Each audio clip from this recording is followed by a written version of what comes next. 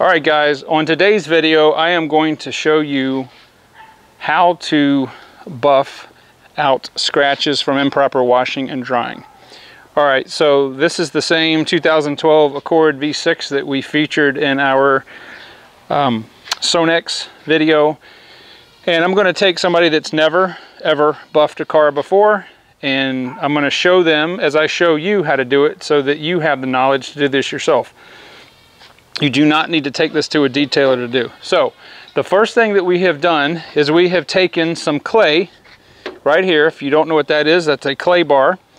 And this happens to be an Adam, Adams clay bar. I will put a link in the description to the clay bar I use mostly, which is Chemical Guys.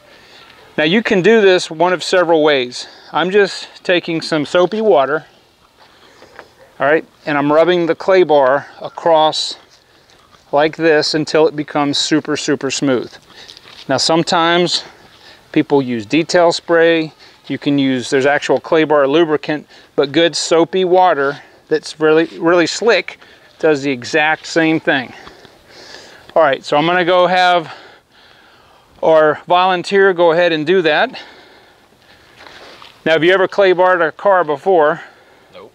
Of course not. So all, all you have to do when you're clay barring is make sure to keep plenty of lubrication on the hood at all times and that just glides the clay bar over.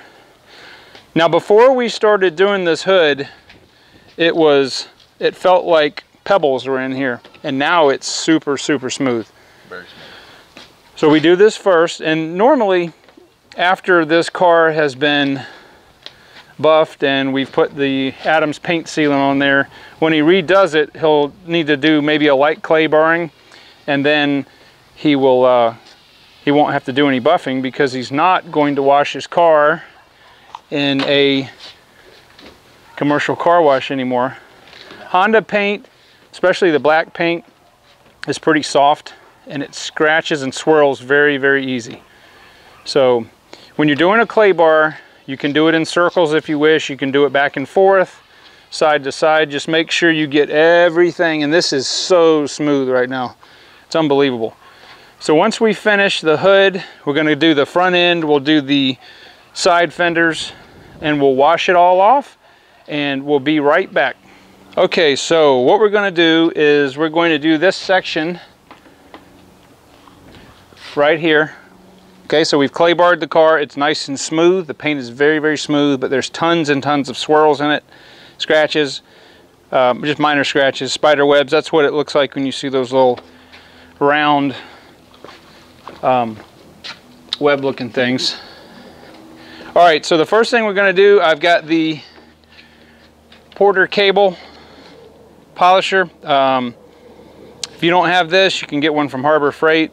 It's best to get one that's got an adjustable speed right here. Okay, so this is just a waffle. This is an orange waffle pad. It's just a uh, kind of a medium cut. And what we're gonna do is I'm gonna take a little bit of uh, detail spray. You can use any detail spray you want. Just give it a couple spritz to prime the pad. All right. I'm happen to use Adams machine polish that's what I'm going to start out with. I use, I always start out with the least aggressive. And I'm going to put just a, uh, about five little drops right there. And then I'm going to just dab it in the area, just like this. The reason I'm doing this is because I don't want this stuff slinging. All right, so I've got it on number one, and I'm going ahead and spread the, the polish out in the area that I'm going to be working.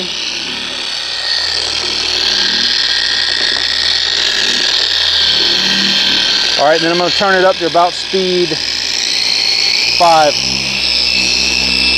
All right, and all I'm going to be doing is I'm going to be going back and forth.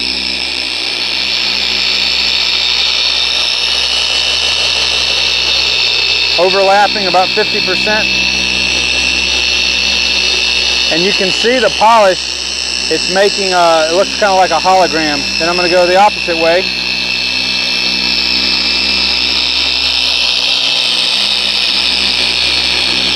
And we'll turn up just a hair faster. Now this kind of uh, polishing, you're not gonna you're not gonna hurt the car because this is called an oscillating. Because if you press down too hard, the pad stops. So it's not like a forced rotation like you see body shops using. Now people ask, how do you know when to stop? Well, when the polish starts breaking down and starts turning into dust, that's when we're going to stop.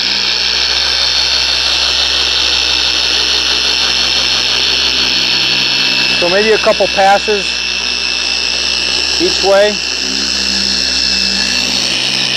And I'm not putting a whole lot of pressure on here. I'm just, if I put no pressure at all, it's going to do that. I just got a, just a, I don't know, maybe two or three pounds worth of pressure on there.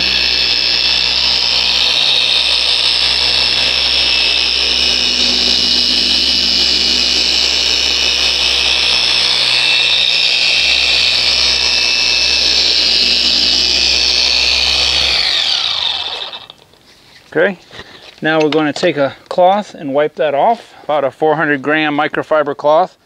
All right, ready?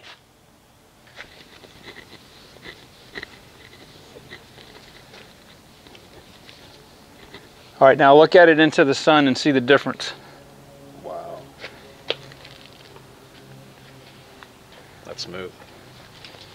All right, now it it removed the light spider webs, okay? It didn't remove the heavy one yet. That's because we always want to start with the least aggressive.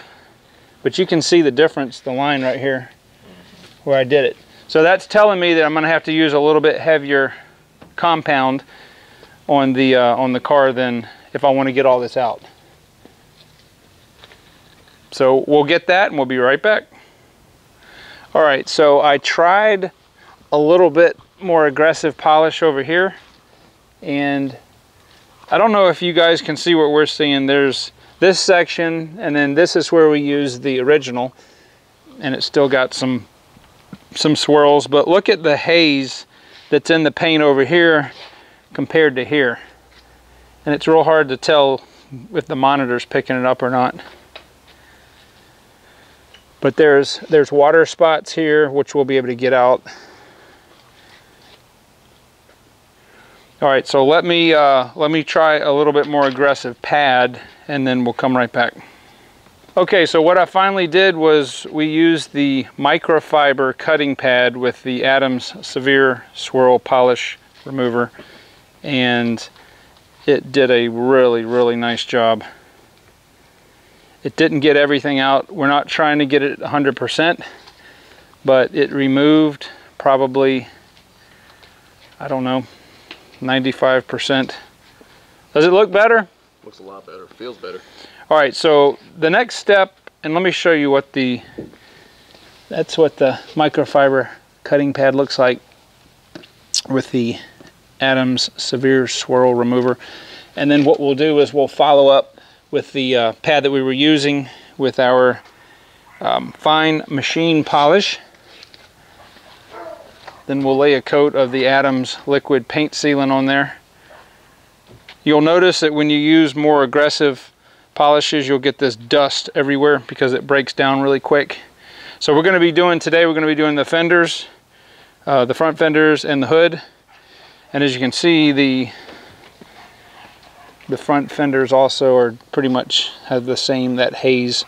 So we're going to be taking care of that and then we'll be right back. All right, so the owner of the car right here has never buffed before in his life. So if you're using a good oscillating buffer like this, random orbital, you are not going to have any problem.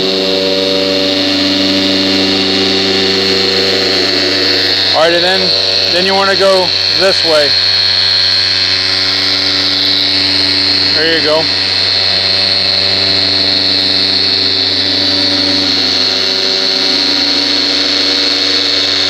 So he's overlapping. His pass is about 50%. And we're on speed 6.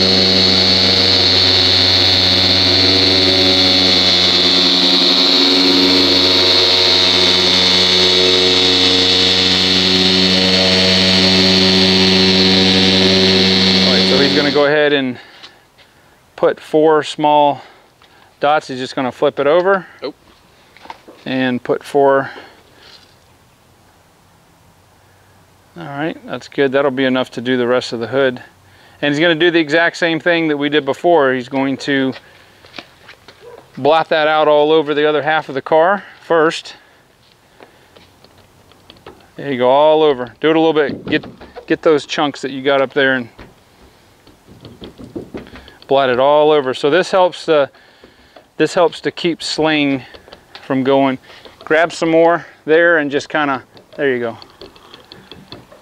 All right, so now he's got it on uh, speed one and he's gonna spread the uh, polish out. Always start the machine with it on the car. Okay, then just turn it on. Now he's just gonna spread it out real fast. The only purpose for this is just to spread the polish out so it's a nice thin even coat. Very good. You sure you haven't done this before? All right, now he's gonna spread just a little bit right here. All right, now he's gonna keep the polisher on the car and turn it to speed six. All right. And he's gonna do the same thing he did on the other side.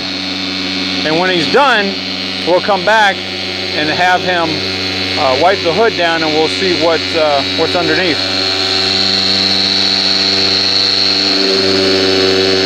We're gonna go ahead and wipe the residue off.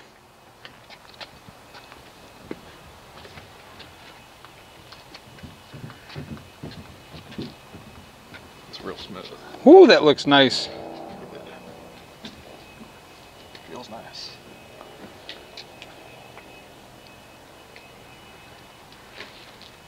Good gosh. That feels as smooth as my car now.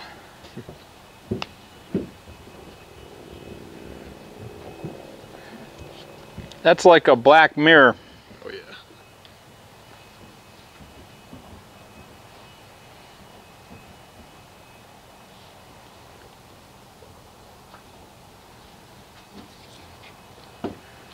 Unbelievable. Check it out this way. Look at the reflection of the house now. Wow. All right, so we're gonna finish up the two front fenders and then we'll be back and show you what we're gonna put on here to protect this for a year.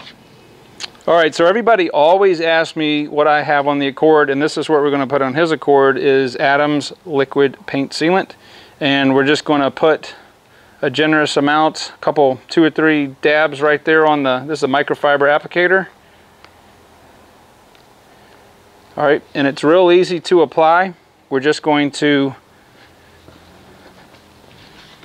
take it like this. Whoops. All right, is this some kind of a joke? Just gonna spread it out. You don't have to get it real thick at all. You just need to get a light coating. So we're gonna do everything that we buffed today and we'll be right back. All right, so we have the Adams liquid paint sealant all over the fenders, the front end and the hood and went ahead and put it on the window windshield and we'll let that flash over. Once it flashes over, we'll take a clean microfiber towel and buff it off and then show you the results. All right, so we're taking a, uh, this is an Eagle Edgeless 400 gram microfiber cloth. This is the only thing that I use to remove um, wax or sealant because it's so gentle on the paint. I'll put the link to that also below.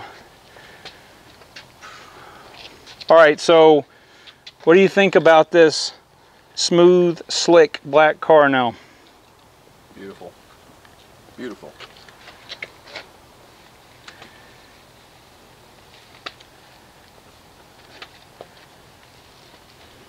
So it's on the, uh, the Adams paint sealant is on everything. It's on the trim, it's on the lights. And here's a pro tip. If you keep your lights, your plastic covers, um, keep the Adams paint sealant on it, they will never turn yellow. All right, so we're gonna go ahead and finish this up and we'll be back to show you the final result. All right, so here is the final result. And I must say it came out very nice. So we only did the only did the front end, but the depth and clarity of the paint now. Now there's still some orange peel in there, and the only way you would get that out is to wet sand it. This is the daily driver, not a show car. But let me show you compared to the, the top. There's a lot of, what's making it look like it's got some haze is the water spots um, and a tiny bit of oxidation. But the clarity right here is, is very, very clear and super smooth. It feels better than it was when it was new. And you can actually see the metal flake or pearlescence in the paint. So anyway, guys, I hope that this video has empowered you to get out there and buff and clay bar your own car. If you did this whole car, it would probably cost about 110 $120 or so. Um, but you can buy your own materials and keep your car nice and clean, keep it uh, keep it buffed and shiny. Once you get it to this stage, it's very, very easy to keep clean. When you do your weekly washes, it'll be much easier to clean, wash, and it'll be much easier to dry. So I will see you guys on the next video.